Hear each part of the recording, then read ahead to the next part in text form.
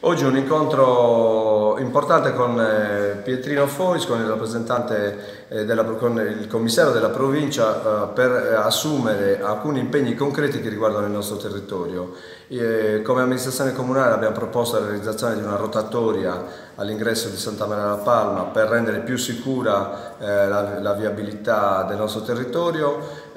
Abbiamo oh,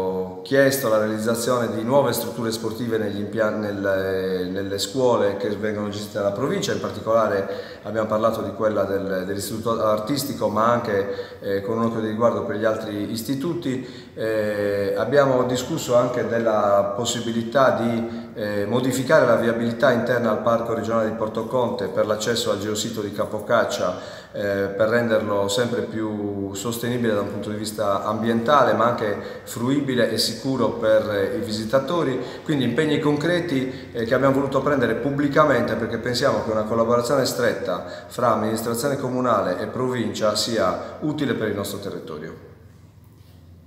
Pietrino Fois. Il sindaco ha fatto un elenco molto puntuale di quelle che sono le esigenze e le criticità.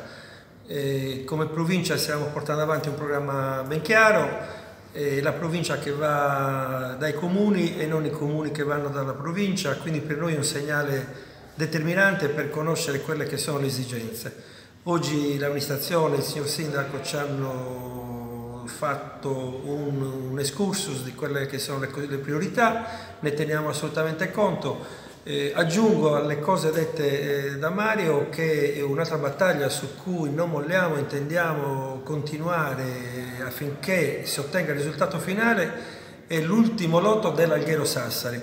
cui, per il quale abbiamo avuto un incontro importante a Roma, eh, ci sono ancora questioni che devono essere sciolte, però eh, contiamo nelle prossime settimane di avere una risposta finalmente definitiva, definitiva per l'Alghero Sassari fondamentale per la nostra economia e la nostra sicurezza.